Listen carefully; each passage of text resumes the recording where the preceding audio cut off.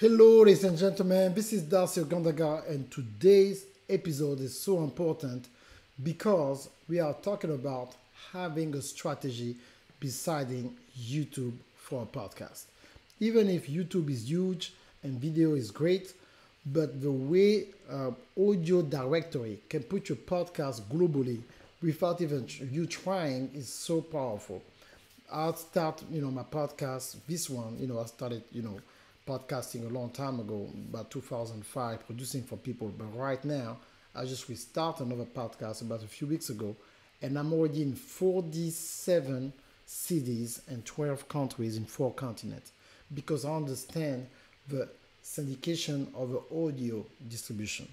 So a podcast cannot just be video. I don't want you to always think about, oh, our podcast, is a video studio, and me sitting with someone with a guest with some headphones and looking cute.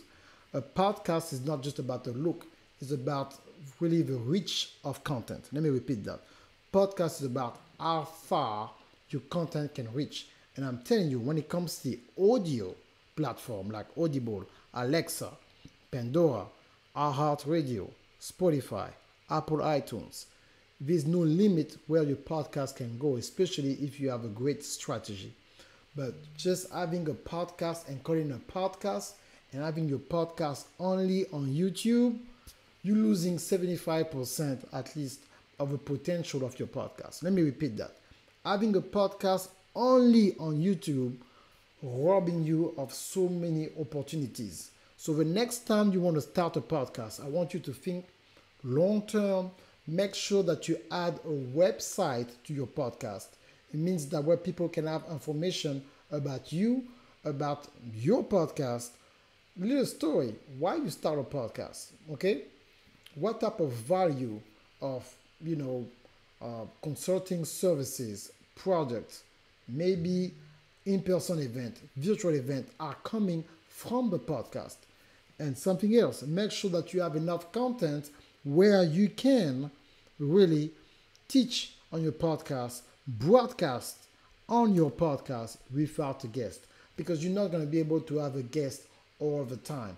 Even if it was a business model to have a guest all the time, sometimes you can have repeat guests. The second mistake, do not invest in a video studio at the beginning of your podcast if you don't have the resources for it. Let me explain.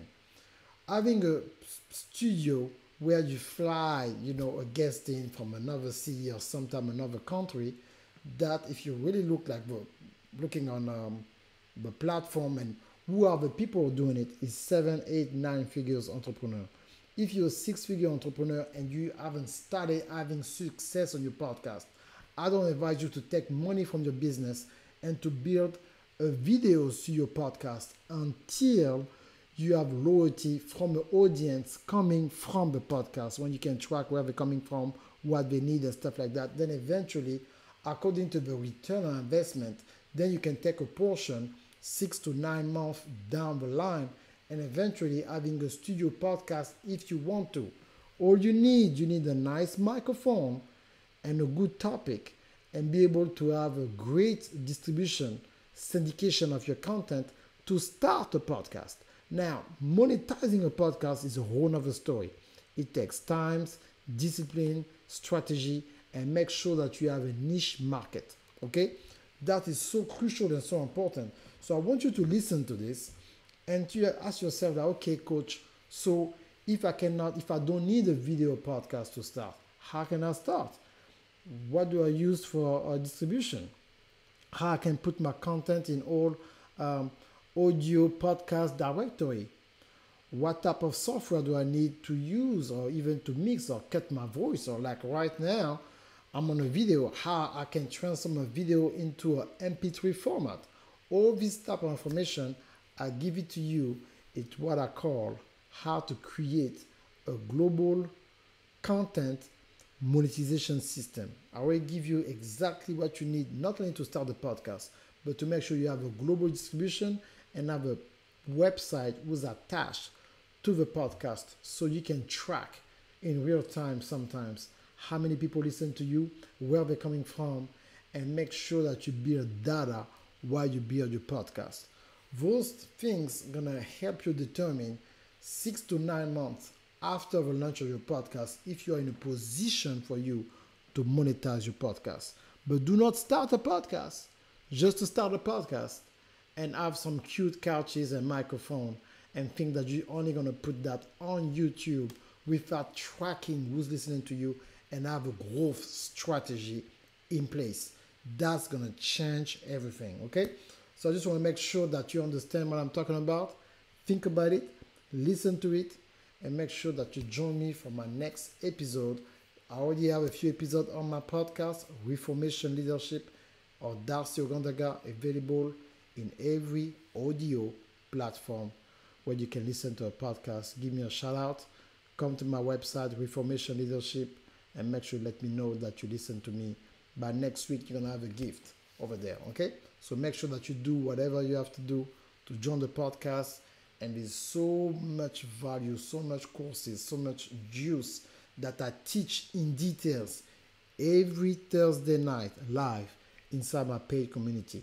So make sure that you send me an inbox, send me a message to make sure that you want to join the community so you can go and apply and make sure that you will see me live teaching for 90 minutes at least every Thursday. I answering question, I share my screen. So I answer question about global marketing, about uh, how to monetize your book, your online course, how you can speak different languages, how you can reach the French market, the Spanish market, the Arabic market. is so important when you can put your content in multiple languages and you have the right strategy for each continent, have the ability to do seven world tours like I did with my family. I mean, that's something else to be able to sell your books, your content in euros, in pounds. And I'm telling you, it's just it's going to change your life to be a true global entrepreneur. That's where we're going. That's what God asked us to do to go ye to all the world, all the ethnos and be able to witness Christ, but witness your business and to add your voice so you can transform lives and add value so they can figure out what they're supposed to do, living a purpose driven life. And while they're doing it, learning how to monetize their gift, the God given talent that God put on the inside of them. There's a way to franchise your mind and to create what I call a digital headquarters so people can get in contact with you globally on your website.com. It's good to have Amazon, it's good to have the social media outlet, but just in case, you know, the bugging disappear or block you, you need to be able to have your own digital headquarters where people can always come that come for you for what you have to offer, what you have to say, and they can over there access the content freely 24 7 with the structure that you deserve. Thank you so much. Talk to you next time. Bye bye.